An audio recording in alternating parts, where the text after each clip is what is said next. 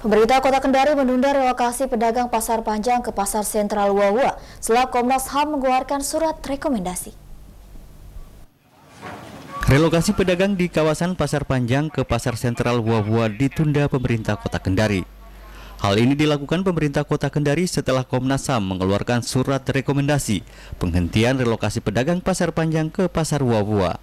Padahal rencana pemerintah kota menargetkan di awal tahun 2019, para pedagang di kawasan Pasar Panjang sudah menempati los di Pasar Sentral Wawua. Namun pedagang menolak pindah dari Pasar Panjang sebab los di Pasar Sentral Wawua sangat terbatas dan sewanya dinilai sangat mahal. Menurut Wali Kota Kendari Sulkarnain Kadir, penangguhan relokasi pedagang bentuk kepatutan pemerintah terhadap surat dari Komnas HAM. Kami dulu apa ini yang diinginkan oleh pemerintah kota. Saya yakin kalau mereka dengar, mereka kemudian coba uh, memahami apa yang diinginkan oleh pemerintah kota, saya kira akan sejalan. Karena kan kita sama-sama ingin agar kesejahteraan masyarakat itu meningkat termasuk para pedagang.